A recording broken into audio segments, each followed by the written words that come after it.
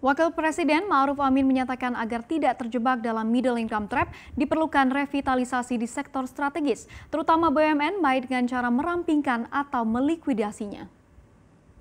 Menurut Ma'ruf, Kementerian BUMN selaku pemegang kendali semua BUMN memiliki jumlah yang dan cakupan yang terlalu besar dan terlalu luas sehingga perlu dikurangi dan dirampingkan sesuai line of business atau bidang usaha dan kebutuhan pembangunan agar lebih efisien, kompetitif, dan memberikan hasil yang lebih baik. Ma'ruf menyatakan untuk merevitalisasi BUMN tersebut, dua kriteria yang dapat dijadikan pegangan adalah kemampuan value creation atau penciptaan nilai dan kemampuan melaksanakan melaksanakan public service obligation atau layanan publik yang baik.